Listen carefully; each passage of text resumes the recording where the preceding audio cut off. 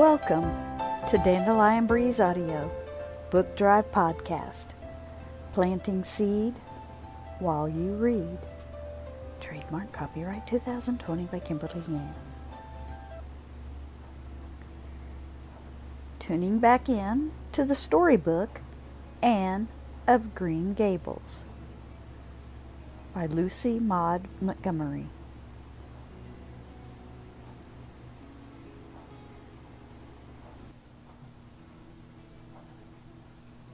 Chapter 28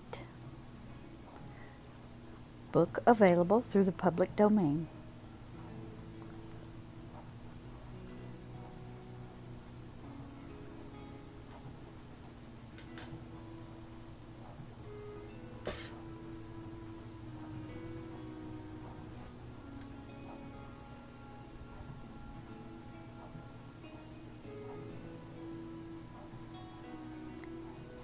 An unfortunate lily maid.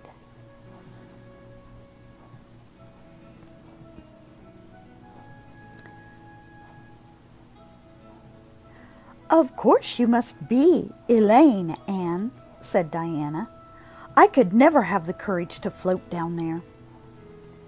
Nor I, said Ruby Gillis with a shiver.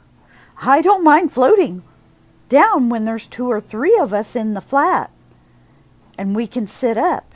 It's fun then. But to lie down and pretend I was dead, I just couldn't. I'd die really of fright.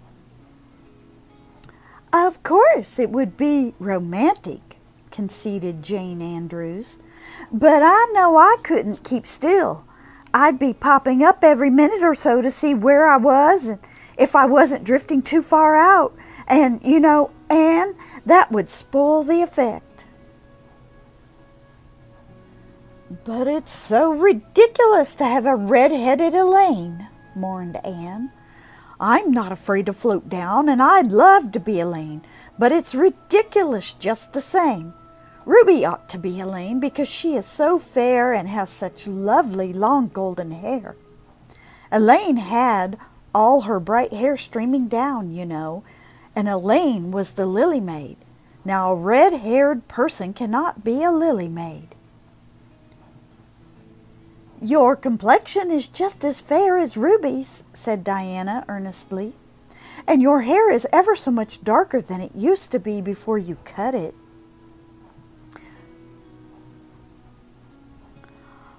Oh, do you really think so? exclaimed Anne, flushing sensitively with delight. I've sometimes thought it was myself, but I never dared to ask anyone for fear she would tell me it wasn't. Do you think it could be called auburn now, Diana? Yes, and I think it is a real pretty, said Diana, looking at admiringly, admiringly at the short silky curls that clustered over Anne's head and were held in place by a very jaunty black velvet ribbon and bow. They were standing on the bank of the pond below Orchard Slope where a little headland fringed with birches ran out from the bank, and its tip was a small wooden platform built out into the water for the convenience of fishermen and duck hunters. Ruby and Jane were spending the midsummer afternoon with Diana, and Anne had come over to play with them. Anne and Diana had spent most of their playtime that summer on and about the pond. Idlewild was a thing of the past, Mr. Bell having ruthlessly cut down the little circle of trees in his back pasture in the spring.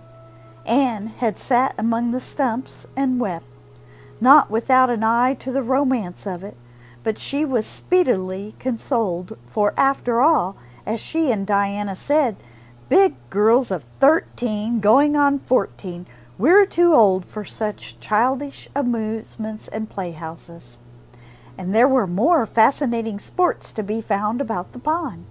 It was splendid to fish for trout over the bridge, and the two girls learned to row themselves out in the little flat bottomed dory Mr. Barry kept for duck shooting. It was Anne's idea that they dramatize Elaine, They had studied Tennyson's poem in school the preceding winter, the superintendent of education having prescribed it in the English course for the Prince Edward Island schools.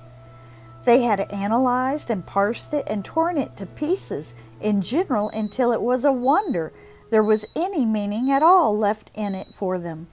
But at least the fairy lily maid and Lancelot and Guinevere and King Arthur had become very real people to them, and Anne was devoured by secret regret that she had not been born in Camelot. Those days, she said, were so much more romantic than the present. Anne's plan was hailed with enthusiasm. The girls had discovered that if the flat was pushed off from the landing place, it would drift down with the current until the bridge, under the bridge, and finally strand itself on another headland lower down, which ran out at a curve in the pond. They had often gone down like this, and nothing could be more convenient for playing Elaine. Well, I'll be Elaine, said Anne, yielding reluctantly. For although she would have been delighted to play the principal character, yet her, her artistic sense demanded fitness for it, and this, she felt, her limitations made impossible. Ruby, you must be King Arthur, and Jane will be Guinevere, and Diana must be Lancelot. But first you must be the brothers and the father. We can't have the old dumb servitor because there isn't room for two in the flat when one is lying down.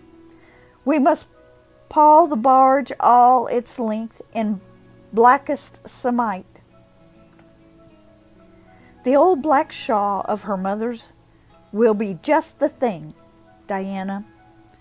The black shawl having been procured, Anne spread it over the flat and then lay down on the bottom, when closed eyes and holds hands folded over her breast. Oh, she does look really dead, whispered Ruby Gillis nervously, watching the still, white little face under the flickering shadows of the birches. It makes me feel frightened, girls. Do you suppose it's really right to act this out? Mrs. Lynde says that all play acting is abominably wicked. Ruby, you shouldn't talk about Mrs. Lynde said Anne severely. It spoils the effect because this is hundreds of years before Mrs. Lynde was born. Jane, you arranged this. It's silly for Elaine to be talking when she's dead. Jane rose to the occasion. Cloth of gold for the coverlet there was none, but an old piano scarf of yellow Japanese crepe was an excellent substitute. A white lily was not obtainable just then, but the effect of a tall blue iris placed in one of Anne's folded hands was all that could be desired. Now she's all ready, said Jane. We must kiss her quiet brows, and Diana, you say, Sister, farewell forever. And Ruby, you say, Farewell, sweet sister. Both of you are sorrowful as you possibly can. And for goodness sake, smile a little. You know Elaine lay as though she smiled. That's better. Now push the flat off. The flat was accordingly pushed off, scraping roughly over an old embedded stake in the process. Diana and Jane and Ruby only waited long enough to see it caught in the current and headed for the bridge before scampering up through the woods across the road and down to the lower headland, where, as Lancelot and Guinevere and the king, they were to be in readiness to receive the Lily Maid. For a few minutes Anne drifted slowly down, enjoyed the romance of her situation to the full. Then something happened, not at all romantic. The flat began to leak. In a very few moments it was necessary for Elaine to scramble to her feet pick up her cloth of gold coverlet and pall of the blackest samite and gaze blankly at a big crack in the bottom of her barge, through which the water was literally pouring. that sharp stake at the landing had torn off the strip of batting nailed on the flat. Anne did not know this, but it did not take her long to realize that she was in dangerous plight. At this rate, the flat would fill and sink long before it could drift to the lower headland. Where were the oars? Left behind at the landing. Anne gave one gasping little scream which nobody ever heard. She was white to the lips, but she did not lose her self possession. There was one chance, just one. I was horribly frightened, she told Mrs. Allan the next day, and it seemed like years while the flat was drifting down to the bridge and the water rising in every moment. I prayed Mrs. Allan most earnestly, but I didn't shut my eyes to pray, for I knew the only way God could save me was to let the flat float close enough to one of the bridge piles for me to climb up on it. You know the piles are just old tree trunks, and there are lots of knots and old branch stubs on them. I was proper to pray, but I had to do my part by watching out, and right well I knew it. I just said, Dear God, please take the flat close to the pile and I'll do the rest. Over and over again. Under such circumstances, you don't think much about making a flowery prayer.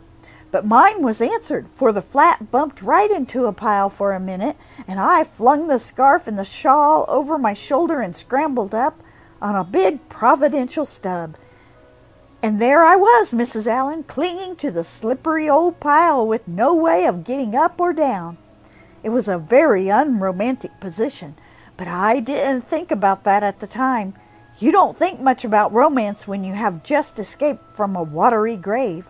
I said a grateful prayer at once, and then I gave all my attention to holding on tight, for I knew I should probably have to depend on human aid to get back to dry land. The flat drifted under the bridge and then promptly sank in midstream.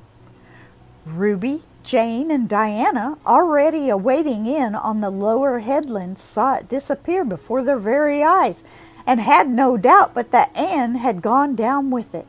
For a moment they stood still, white as sheets, frozen with horror at the tragedy. Then, shrieking at the tops of their voices, they started on a frantic run up through the woods, never pausing as they crossed the main road to glance the way of the bridge. Anne, clinging desperately to her precarious foothold, saw their flying forms and heard their shrieks. Help would soon come, but meanwhile her position was a very uncomfortable one. The minutes passed by, each seeming an hour to the unfortunate Lily Maid. Why didn't somebody come? Where had the girls gone? Suppose they had fainted all and one. Suppose nobody ever came. Suppose she grew so tired and cramped that she could no longer, oh, no longer hold on. Anne looked at the wicked green depths below her, wavering with long, oily shadows, and shivered. Her imagination began to suggest all manner of gruesome possibilities to her. Then, just as she thought she really could not endure the ache in her arms and risked another moment, Gilbert Blythe came rowing under the bridge in Harmon Andrews' dory. Gilbert glanced up and, much to his amazement, beheld a little white, scornful face looking down upon him with big, frightened, but also scornful gray eyes. Anne Shirley, how on earth did you get there? he exclaimed. Without waiting for an answer, he pulled close to the pile and extended his hand. There was no help for it. Anne, clinging to Gilbert Blythe's hand, scrambling down into the dory, where she sat, drabbled and furious in the stern, with her arms full of dripping shawl and wet crepe. It was certainly extremely difficult to be dignified under the circumstances. What has happened, Anne? asked Gilbert, taking up his oars. We were playing Elaine, explained Anne frigidly, without even looking at her rescuer, and I had to drift down to Camelot in the barge, I mean the flat. The flat began to leak, and I climbed out on the pile. The girls went for help. Will you be kind enough to row me to the landing? Gilbert, obliging, rowed to the landing, and Anne, disdaining assistance, sprang nimbly on shore. I'm very much obliged to you, she said haughtily as she turned away. But Gilbert had also sprung from the boat and now laid a detaining hand on her arm. Anne, he said hurriedly, look here. Can't we be good friends? I'm awfully sorry I made fun of your hair that time. I didn't mean to vex you, and I only meant it for a joke. Besides, it's so long ago. I think your hair is awfully pretty now. Honest, I do. Let's be friends. For a moment, Anne hesitated. She had an odd, newly awakened consciousness under all her outraged dignity that the half shy, half eager expression in Gilbert's hazel eyes was something that was very good to see. Her heart gave a quick, queer little beat, but the bitterness of her old grievance promptly stiffened up her wavering determination. That scene of two years before flashed back into her recollection as vividly as if it had taken place yesterday. Gilbert had called her carrots and had brought about her disgrace before the whole school. Her resentment, which to the other and older people might be as laughable as its cause, was in no whit allayed and softened by the time seemingly. She hated Gilbert Blythe. She would never forgive him. No, she said coldly. I shall never be friends with you, Gilbert Blythe, and I don't want to be. All right, Gilbert sprang into his skiff with an angry color in his cheeks. I'll never ask you to be friends again, Anne Shirley, and I don't care either. He pulled away with swift, defiant strokes, and Anne went up the steep ferny little path under the maples. She held her head very high, but she was conscious of an odd feeling of regret. She almost wished she had answered Gilbert differently. Of course, he had insulted her terribly, but still, although Anne rather thought it would be a relief to sit down and have a good cry, she was really quite unstrung, for the reaction from her fright and cramped clinging was making itself felt. Halfway up the path, she met Jane and Diana rushing back to the pond in a state narrowly removed from positive frenzy. They had found nobody at Orchard Slope, both Mr. and Mrs. Barry being away. Here, Ruby Gillis had succumbed to hysterics, and was left to recover from them as best she might, while Jane and Diana flew through the haunted wood and across the brook to Green Gables. There they had found nobody either, for Marilla had gone to Carmody and Matthew was making hay in the back field. Oh, Anne! gasped Diana, fairly falling on the former's neck and weeping with relief and delight. Oh, Anne, we thought you were drowned, and we felt like murderers because we had made you you be Elaine. And Ruby is in hysterics. Oh, Anne, how did you escape? I climbed up on one of the piles, explained Anne wearily, and Gilbert Blythe came along in Mr. Andrew's dory and brought me to land. Oh, Anne, how splendid of him! Why, it's so romantic, said Jane, finding breath enough for utterance at last. Of course you'll speak to him after this.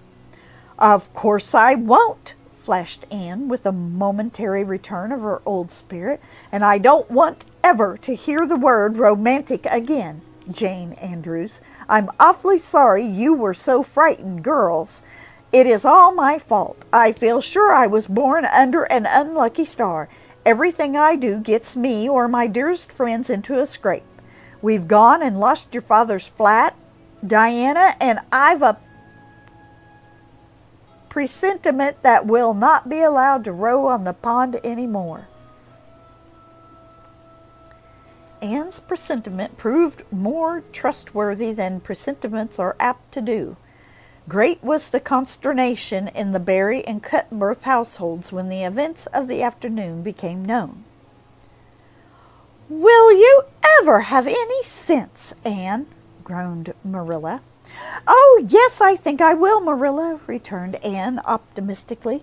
A good cry indulged in the grateful solitude of the east gable had soothed her nerves and restored her to her wonted cheerfulness.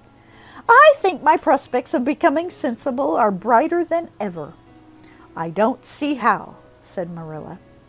Well, explained Anne, I've learned a new and valuable lesson today. Ever since I came to Green Gables, I've been making mistakes, and each mistake has helped to cure me of some great shortcoming.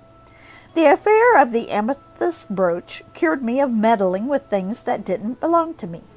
The haunted wood mistake cured me of letting my imagination run away with me. The liniment cake mistake cured me of carelessness in cooking. Dyeing my hair cured me of vanity. I never think about my hair and nose now, at least very seldom. And today's mistake is going to cure me of being too romantic. I have come to the conclu- I have come to the conclusion that it is no use trying to be romantic in Avonlea. It was possibly easy enough in towered Camelot hundreds of years ago, but romance is not appreciated now.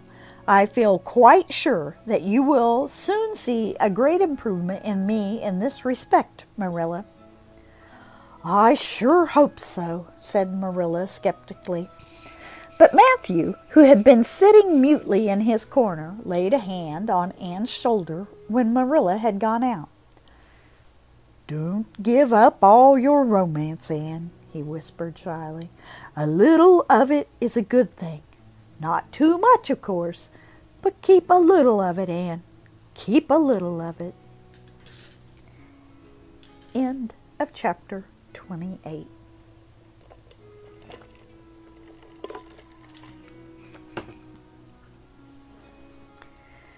Chapter 29 An Epic in Anne's Life. Anne was bringing the cows home from the back pasture by the way of Lover's Lane. It was a September evening, and all the gaps and clearings in the woods were brimmed up with ruby sunset light. Here and there the lane was splashed with it, but for the most part it was already quite shadowy beneath the maples, and the spaces under the firs were filled with a clear violet dusk like airy wine. The winds were out in their tops, and there is no sweeter music on earth than that which the wind makes in the fir trees at evening. The cows swung placidly down the lane, and Anne followed them dreamily, repeating aloud the battle canto from Marmion,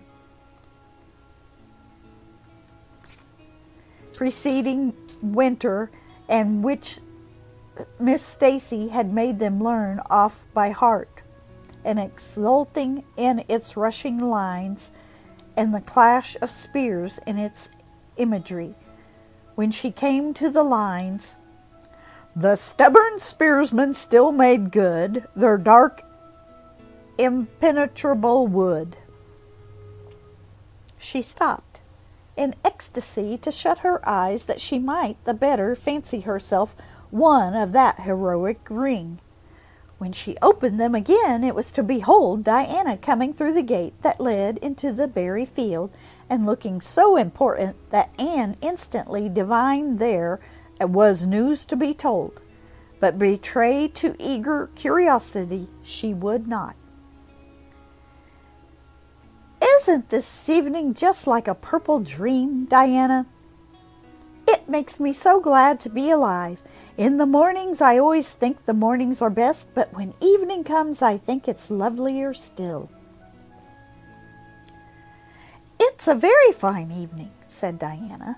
But oh, I have such news, Anne. Guess, you can have three guesses.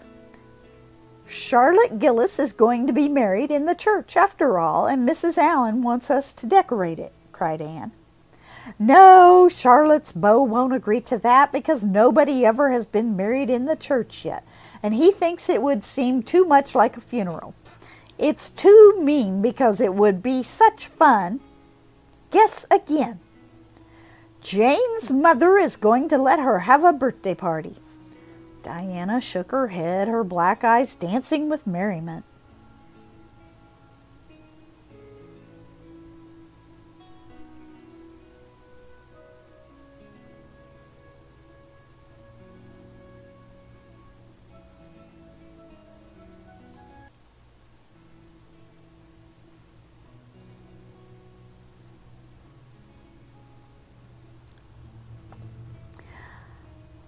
I can't think what it can be, said Anne in despair. Unless it's that Moody Spurgeon MacPherson saw you home from prayer meeting last night, did he? I should think not, exclaimed Diana indignantly. I wouldn't be likely to boast of it if he did, the horrid creature. I knew you couldn't guess it. Mother had a letter from Aunt Josephine today, and Aunt Josephine wants you and me to go to town next Tuesday and stop with her for the exhibition there. Oh, Diana, whispered Anne, finding it necessary to lean up against a maple tree for support. Do you really mean it? But I'm afraid Marilla won't let me go. She will say that she can't encourage gadding about. That was what she said last week when Jane invited me to go with them in their double seated buggy to the American concert at the White Sands Hotel. I wanted to go, but Marilla said I'd be better at home learning my lessons, and so would Jane. I was bitterly disappointed, Diana. I felt so heartbroken that I wouldn't say my prayers when I went to bed, but I repented of that and got up in the middle of the night and said them. I didn't tell you, said Diana. We'll get Mother to ask Marilla. She'll be more likely to let you go then, and if she does, we'll have the time of our lives, Anne.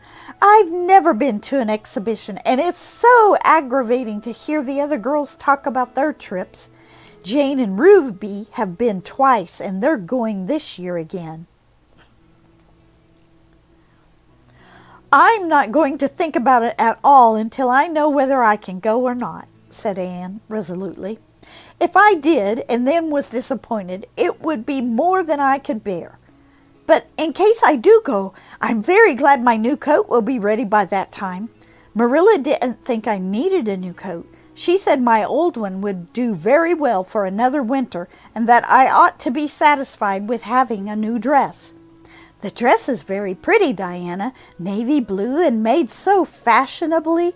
Marilla always makes my dresses fashionably now because she says she doesn't intend to have Matthew going to Mrs. Lynde to make them. I'm so glad. It is ever so much easier to be good if your clothes are fashionable. At least it is easier for me. I suppose it doesn't make much difference to naturally good people, but Matthew said I must have a new coat. So Marilla bought a lovely piece, piece of blue broadcloth, and it's being made by a real dressmaker over at Carmody. It's to be done Saturday night, and I'm trying not to imagine myself walking up the church aisle on Sunday in my new suit and cap because I'm afraid it isn't right to imagine such things. But it just slips into my mind in spite of me. My cap is so pretty. Matthew bought it for me the day we were over at Carmody. It is one of those little blue velvet ones that are all the rage, with gold cord and tassels.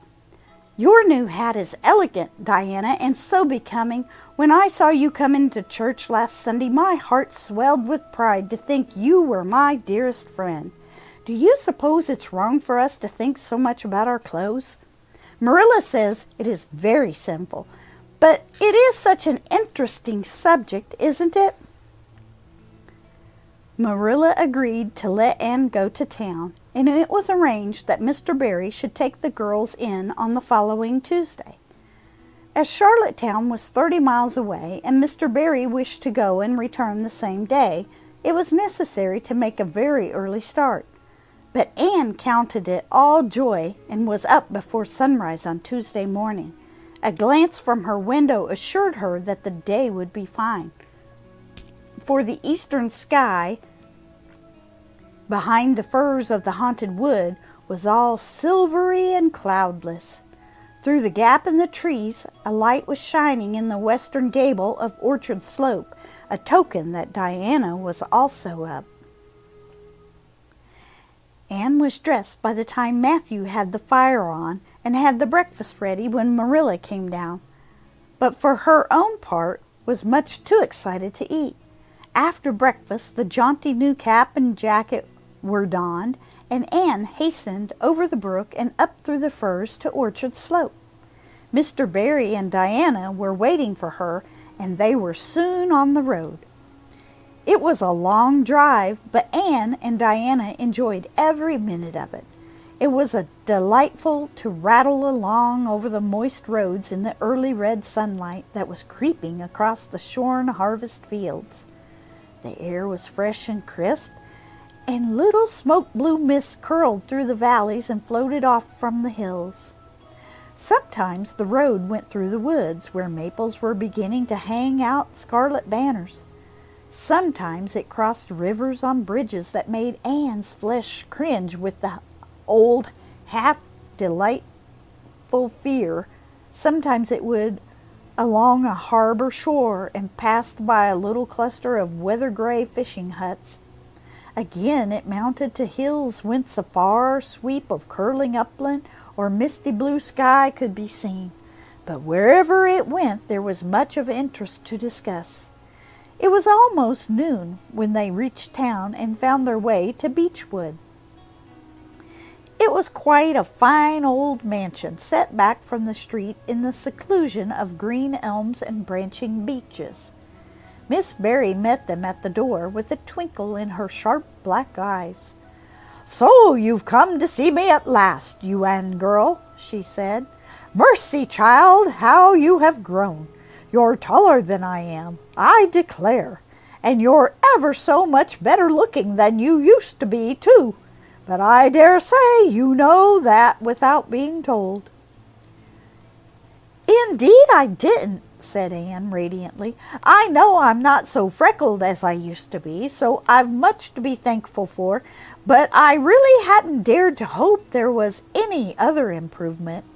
I'm so glad you think there is, Miss Barry.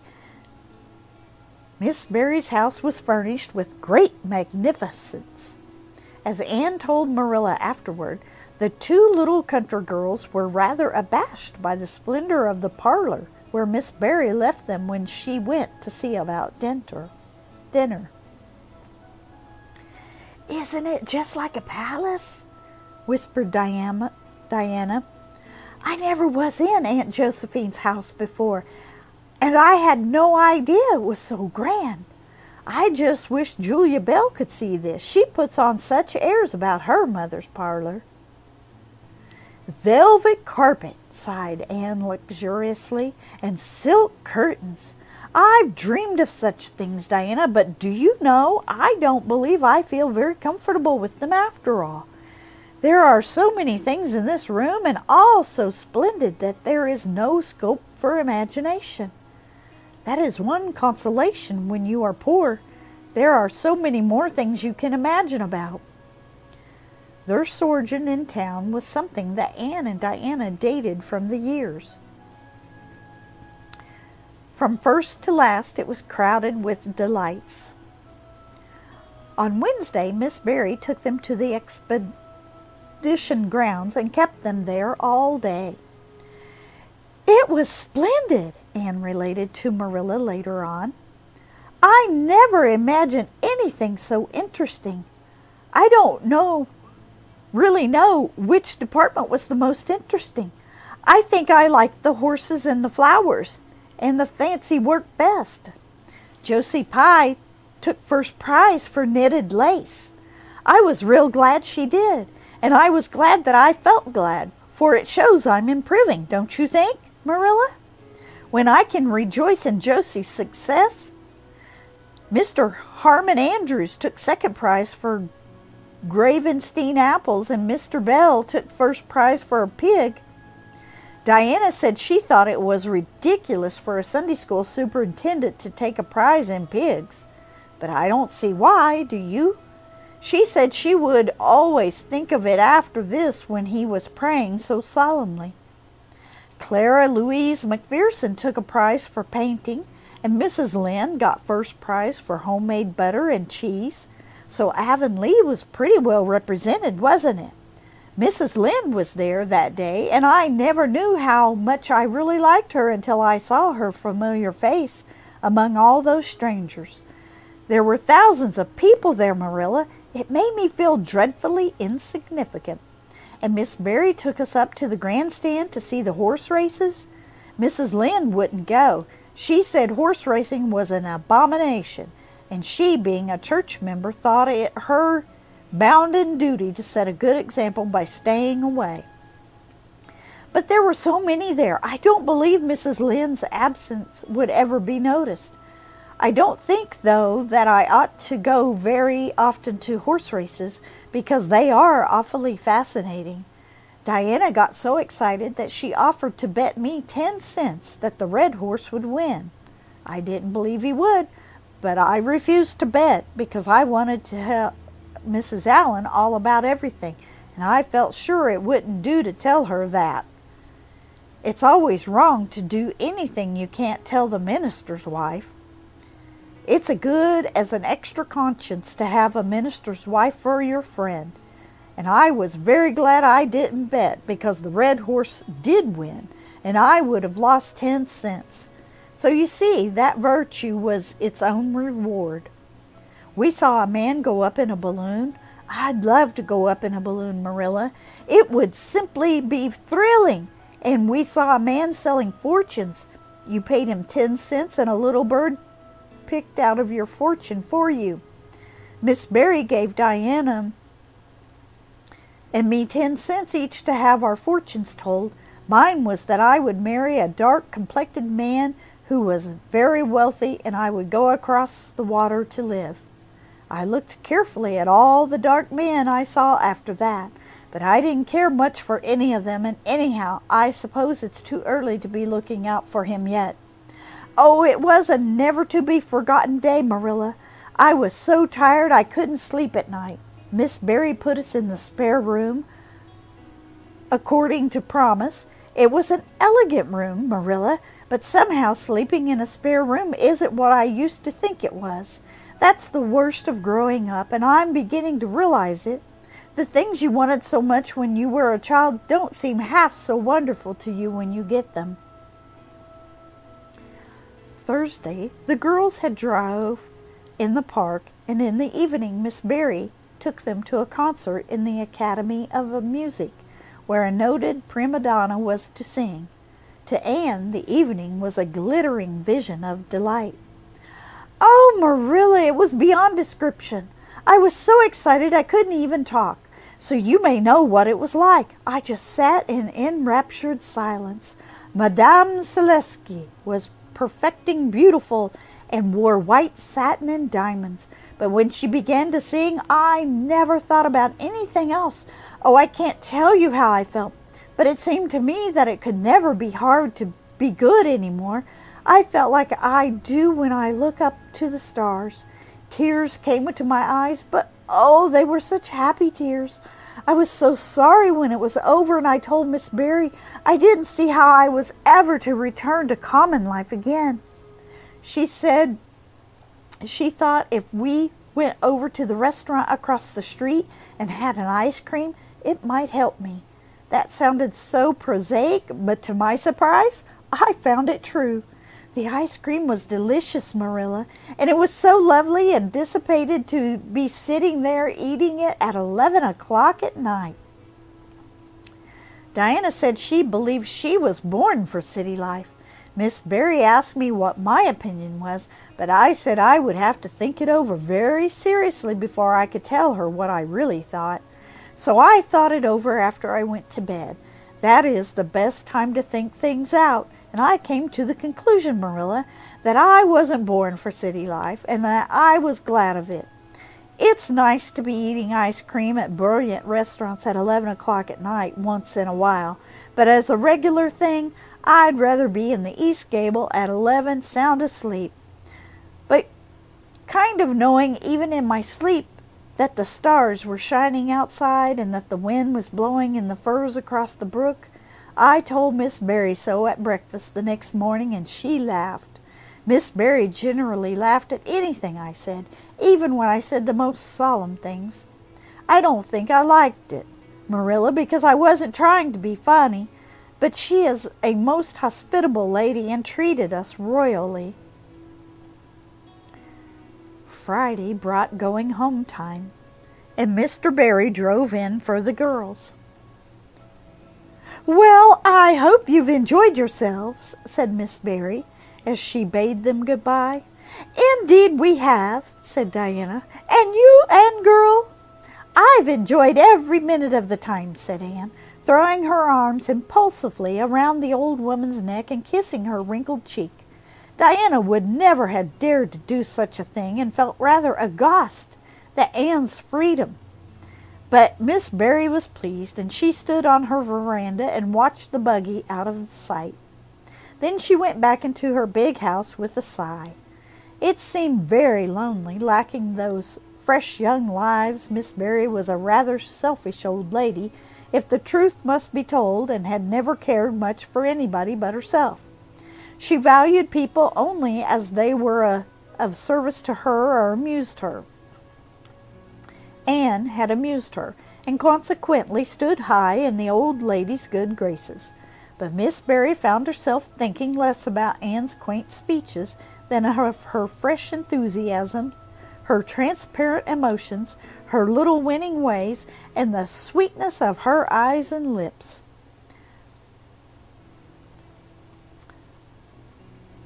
I thought Marilla Cuthbert was an old fool when I heard she'd adopted a girl out of an orphan asylum, she said to herself. But I guess she didn't make much of a mistake after all. If I'd a child like Anne in the house all the time, I'd be a better and happier woman.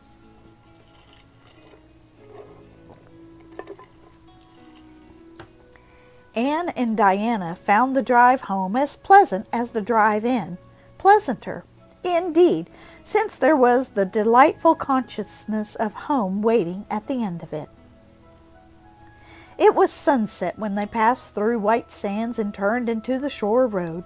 Beyond, the Avonlea hills came out darkly against the saffron sky. Behind them, the moon was rising out of the sea that grew all radiant and transfigured in her light. Every little cove along the curving road was a marvel of dancing ripples. The waves broke with a soft swish on the rocks below them, and the tang of the sea was in the strong, fresh air.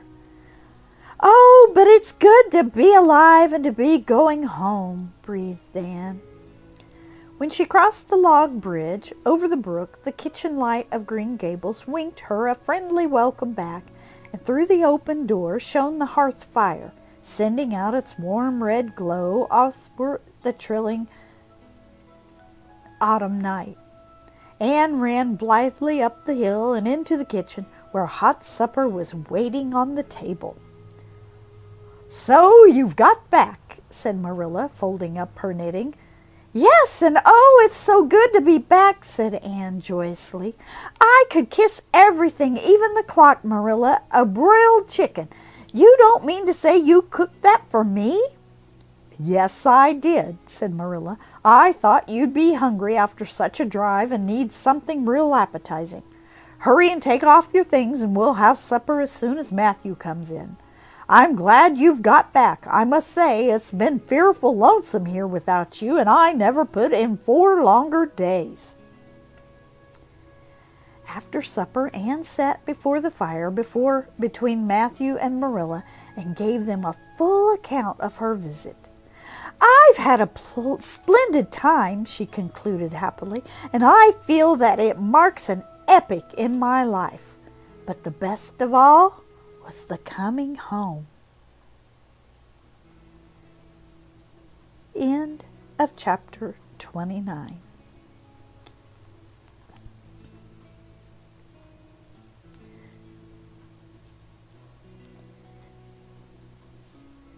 Join us again as we continue on with Anne of Green Gables.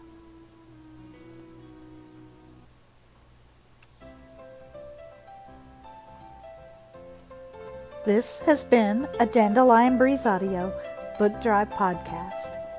Planting seed while you read. Rain, shine, wind, or breeze. What a wonderful day. See you next time on Book Drive.